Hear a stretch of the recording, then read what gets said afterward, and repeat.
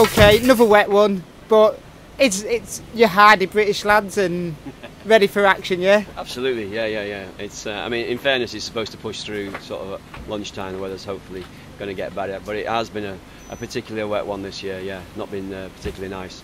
I was just talking to Kurt over at An Post, and what with their teams probably roughly about the same size as yours, with support crew and that lot.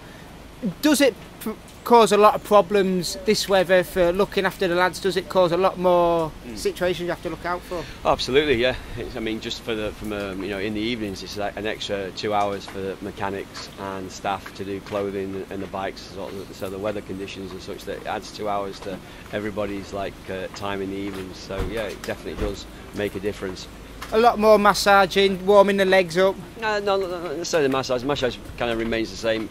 It's more the day-to-day stuff, you know, like just the, you know, Bike making sure the bike cleaning is, is top on, and then all the clothing. I mean, it's like it's not just a pair of shorts and a jersey and undervest that they're, uh, you know, got to wash. It's a full, you know, four layers of kit basically, I mean, overshoes and so on and so forth. So it's a lot more work for everybody.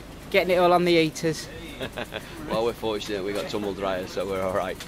What can we expect from the team today, or are, are you keeping yourselves quiet for a later stage?